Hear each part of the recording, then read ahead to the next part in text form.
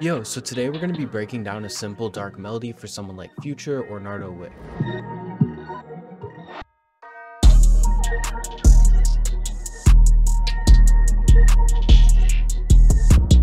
Alright, so for the first sounds of the melody, it's actually two that get combined together. So the first one is a pluck called Jokes that I made myself in Serum. And then the second one is a flute from Kontakt, and I added this just to give the melody a little bit more texture and make it feel a bit more airy. So then here's the main MIDI for both of those sounds, and it's a super simple pattern. It's just a two bar pattern that repeats for the rest of the time, with the second half of it being pushed up an octave for a little bit of variation. So if I were to go ahead and make something similar, we would start off by picking a root note, so I'm going to go with D sharp. And then we're just going to make a simple triplet repeating pattern on top of it. So that little pattern is pretty much going to be the base of the whole melody. So now we can go ahead and just copy it over for the rest of the two bars. Now to just switch this up a little bit and make it a bit more interesting, we're going to put this D sharp down an octave and move these two notes up an octave. Then for this last little section, we're going to transpose it down to A sharp and then put it up an octave. Now when we did that, this A sharp and this C sharp are in the scale, but then this normal C is out of the scale, so it won't really sound right. So to fix that, we're going to grab these two sections of notes and then put it up to A sharp. Then we're going A sharp to B, which are both in the scale. So after we made those changes, here's what it sounds like now.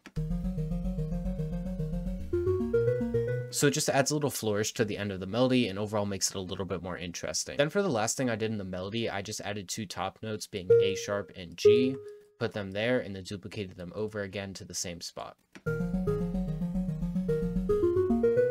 So that's really how I come up with these midis and overall you just really want to make them super duper simple and use the dark notes in the scale. So in D sharp minor that's using the root note, F and F sharp, and then A sharp and B. All those notes are next to each other in the scale and they'll give your melody a really nice dark feeling, which is the sound you're going for. So if we go back and look at the original MIDI, you can see that I did make some additional changes like lengthening those two top notes, but the two other main things that I did was add root notes to just make it feel a little bit more full, and then again adding another A sharp on top that will hit at the same time as a clap does. And a lot of my melodies, I do like to accent where the clap hits. I always find it works out really well in the end, so I do it in a lot of my videos. So then here's the MIDI for that Kontakt flute, but the only difference between this and the first MIDI I showed is I did Control A and then Shift D to shorten all the notes to the size of a cell. This gives the flute a really plucky and airy feeling, which is what I was going for, just to give the sound a little bit more texture. So after I had those MIDIs made and the sounds picked out, I went ahead and added some effects on it before I rendered it out. So the first thing I started off with was Shaper Box with a volume, filter, pan, and crush automation. Next, I added a portal preset called Antimatter with the mix turned down about halfway. Next is Magic Switch, which is a chorus plugin, and again, the mix is turned down about halfway. A halftime on the one bar preset with the smoothing turned all the way to the FX side. A gross beat on the tremolo preset with the mix turned down just a little bit. An EQ just to cut all the lows. And then finally an imager to make it feel really nice and wide. So here's what it looks like all rendered out. And as you can see, I did add some automation clips. So the effects that are being automated are Valhalla Supermassive just on the default preset. And then another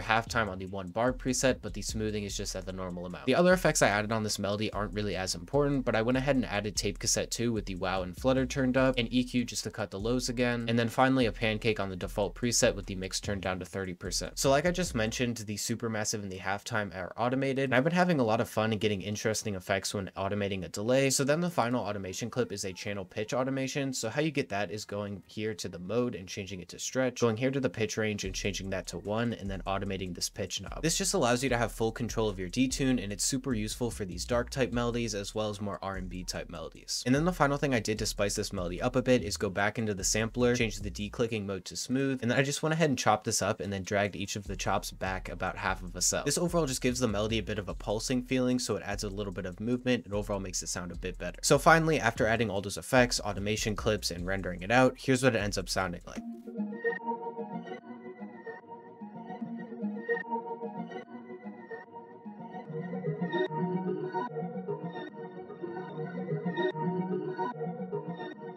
Overall, one of the biggest tips I have for loop making in general is using automation clips and velocity controls as they allow you to just completely control your effects and that is really useful for getting a unique sound. So then for the next sounds in the melody, we actually have two pianos. So the first one is from Keyscape and it's the Wing Upright Mono Dark piano. And then the second one is again from Keyscape, but it's the LA Custom C7 Wash piano, which is great for laying out bass notes as it has a lot of reverb and sounds super big. So then here's the MIDI for the Mono Dark piano. And what I did to get these chords is just copying over all of the notes that were in that first MIDI. So if we go back and look at this MIDI, you can see that all of these notes appear in the first MIDI that I broke down. So we have two D sharps, two G sharps, an A sharp, and an F. All of these just appeared in the first MIDI, so I just stacked them on top of each other to get a chord that sounded right and meshed with that first sound. The other two chords follow that same basic process of just grabbing notes from the first MIDI and layering them on top of each other. Next is the MIDI for the wash piano, and like I mentioned when I was doing the intro for the sound, it's great for laying down bass notes. That's exactly what I used it for. So as you can see, it just copies the bass notes of the melody being D sharp and then an A sharp, and there should be an A sharp here because that's what the main melody does, but I wanted there to be a little bit of break to give it a little bit of variation. So then for the effects on those, with the mono dark, I ran it through the same preset chain that the first sound went through, so with the shaper box, the portal, and everything like that. But on the wash piano, I just added tape cassette 2, again with the wow and the flutter turned up, an EQ to cut all the lows and all the highs, and then finally an imager just to make it a bit more mono. And then the final thing I did with those pianos is rendering out the mono dark piano and doing the same declicking mode on smooth and then dragging everything back half a so. So finally, after we added all those effects and rendered the mono dark piano out, here's what they sound like together.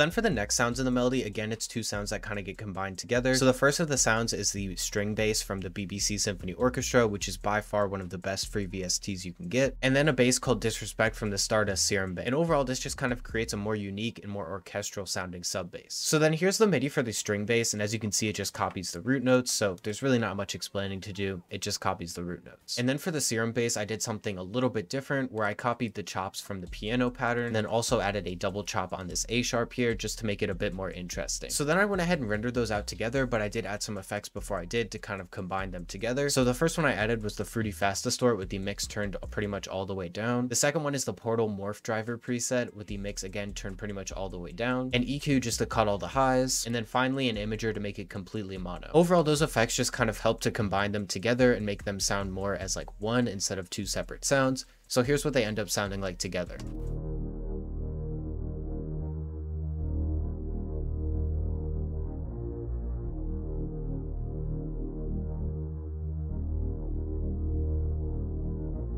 So overall, like I mentioned before, it just kind of makes a more unique and more orchestral sounding bass. And then for the final sounds in the melody, it's actually four sounds that are all kind of accent sounds and just play one note. So I'm not really going to break them up into their own separate segments because they are so simple. So the first one is a flute called Delay that I made myself and it's a one shot. The second one is a softy bell from Flowers Volume 1. The third one is a church bell from a Yeat drum kit. And then finally another one shot that I made and it's a pluck called Shine. And overall I ran this pluck through my guitar pedal so it has a super interesting sparkle to it. And then here's the MIDI for the delay flute and it's a super simple MIDI and it just copies the root note of the melody being D sharp and just hits on the one and the five like an open hat would. For the second one being the softy bell, it's another simple pattern, but for this one I just copied the top note of the melody being A sharp and then copied the triplet roll that was at F and F sharp. These are slide notes and how you get these is by double clicking on a note and then clicking this triangle right here. Alternatively, you can also press S and just trigger it to be a slide note. And then like the original MIDI, this pattern gets copied over, but this half is up an octave just to match the tone of the second half of the original pattern pattern. Next, for the Yeat bell, it just copies the root notes again, being D sharp and then A sharp. And this is just a super simple pattern. Really, all of these are, so there's really not much explaining to do. Finally, for the shine pluck, I have it playing a super simple pattern where it just hits in a pop type clap pattern, all, all the notes at A sharp. This just makes sure that when I have all of the other sounds out of the melody,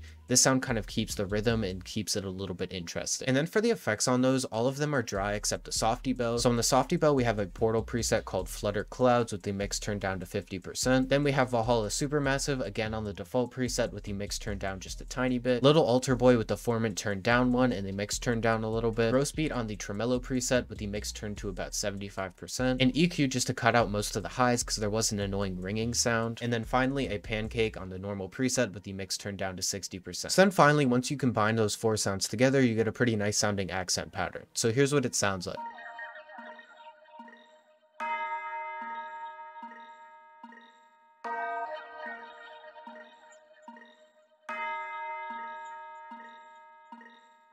Right now it sounds super messy, but when you do put the bass melody back under it, it does sound a lot better. So then finally we have two texture loops that'll be in my upcoming one-shot kit. So the first one is texture 7 and it's basically a super processed vinyl texture. And then the second one that is drum and texture 25 is actually a bunch of Minecraft skeleton noises that are quantized and again have a lot of effects on them.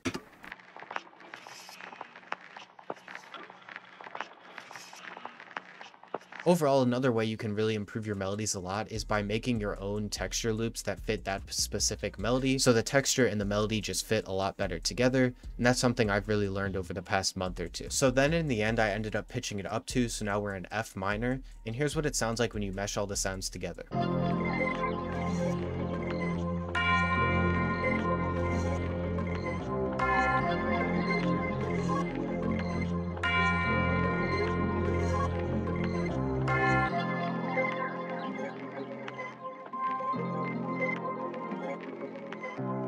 Alright, so that's going to be pretty much it for the video. Overall, I like the way the melody turned out, and unfortunately no drums from scratch today because I already did them and I accidentally deleted the full recording, so this is like my third time recording this video, and I like the way the drums turned out, so I don't want to redo them because I already have the type beat video made and everything. But anyways, thank you guys for watching. Have a splendid rest of your evening, and uh, yeah, that's pretty much it. I'm going to stream tonight though. If you guys have not been paying attention, I've been streaming on Saturdays at 8 p.m. EST. But yeah, hop into the stream. It's fun. We look at people's beats. That's pretty much it. Bye. Pineapple!